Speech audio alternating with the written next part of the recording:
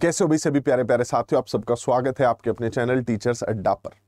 इस वीडियो के अंदर मैं तीन चार चीज़ों पर बात करूँगा। डी ट्रिपल एस बी का रुका हुआ इंजन बढ़िया रफ्तार में चल रहा है। पुरानी वैकेंसीज की एग्ज़ाम डेट आ गई है। पहले पीजीटी का नोटिफिकेशन है अब टीजीटी का। पीआरटी को लेकर भी मैं वीडियो के एंड में आपको समझा दूँगा। बात करते हैं टीजीटी की।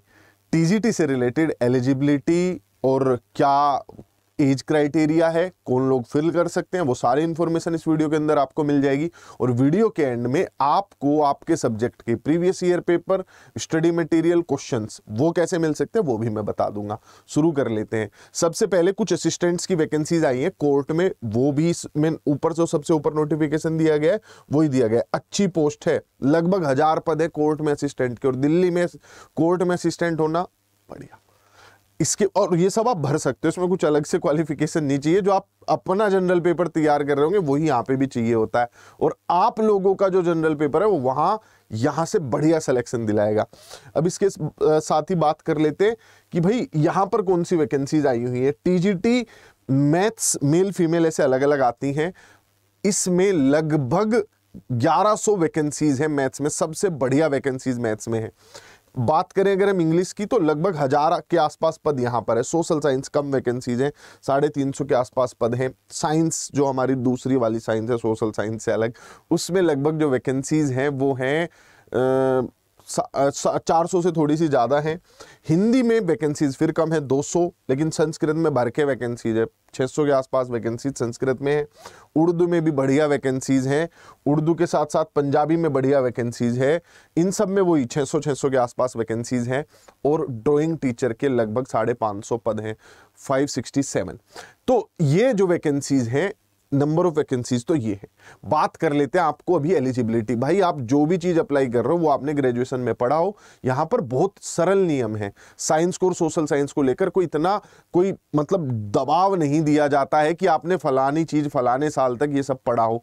पीछे जो है टाइम कुछ लगभग छः सात महीने पहले नियम बहुत आसान कर दिए गए थे।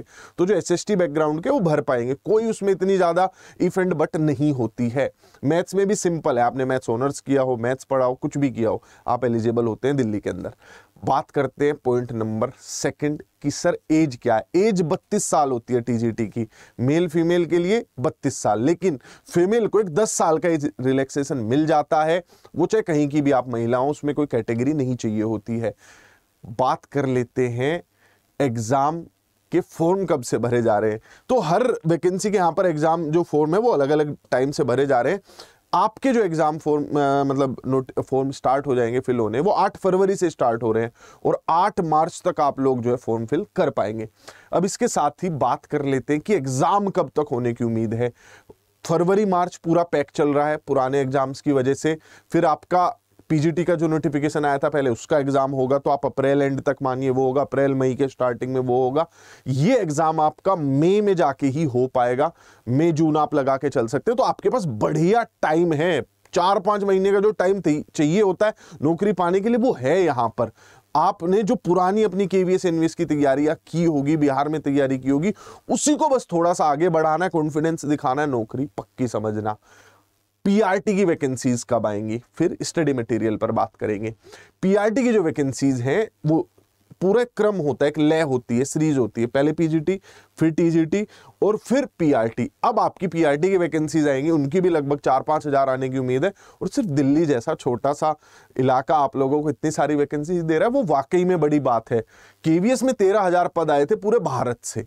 यहाँ पर लगभग इससे ज़्यादा पद सिर्फ़ दिल्ली से आ जाएँगे। और ट्रांसफ़र वगैरह होता नहीं है सैलरी पूरे इंडिया में सबसे बढ़िया है। थर्ड पॉइंट स्टडी मटेरियल कैसे पढ़ सकते हो, क्या कर सकते हो? आपकी सारी चिंताएँ दूर हो जाएँगी।